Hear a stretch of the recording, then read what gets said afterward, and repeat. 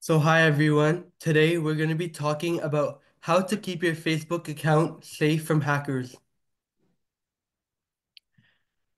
So, a brief overview we're going to have a summary of what Facebook is, the dangers, some solutions, and a video to guide you. What is Facebook? Facebook is a social media platform that allows users to connect with others online. Users can create free profiles to share content such as photos, videos, and status updates, and join conversations with others who share similar interests. Hacking. Facebook has many dangers, just like any other app has. But one of the biggest concerns that is going on right now is accounts getting hacked. Suspicious links. People get hacked by clicking on suspicious links. For example, someone might send you a message saying, hey, check out this photo or video, and when you click on it, it can either steal your information right away or it can ask for your login information, and that is how they hack you. Friend messages. Another common way to get hacked is by receiving a message from one of your Facebook friends that you totally trust and have no idea they have been hacked. They can send you messages like, hey, I need to borrow your login information to save my account, or something similar to that.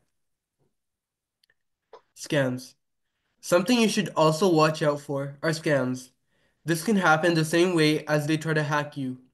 Let's say your friend got hacked and now they send you a message saying, hey, I need to borrow money and hackers really try to make it believable by learning everything about you. You should always double check these type of messages. How to prevent hacking. Locking your profile. One of the new updates of Facebook is that you can now lock your profile.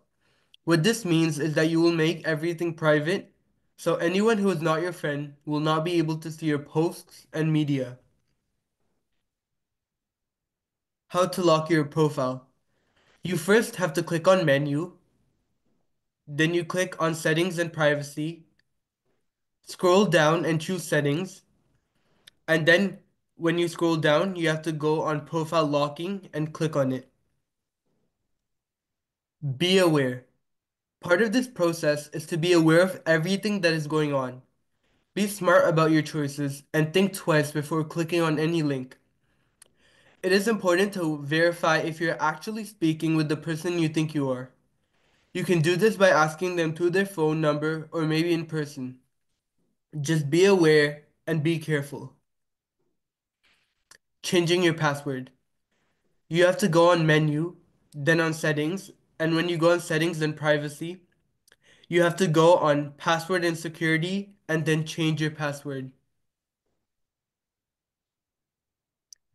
Logging out from other devices. The first step is to go on menu, then go on settings, and then settings and privacy. You go on the account center, then password and security, and it shows you where you're logged in. Then click on your name.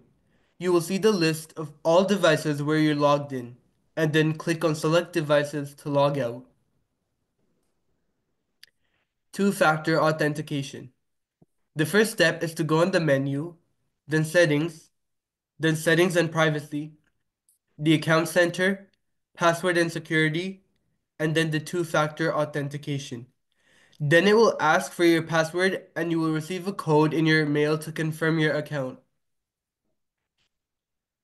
After that, you will now be taken to the options bar.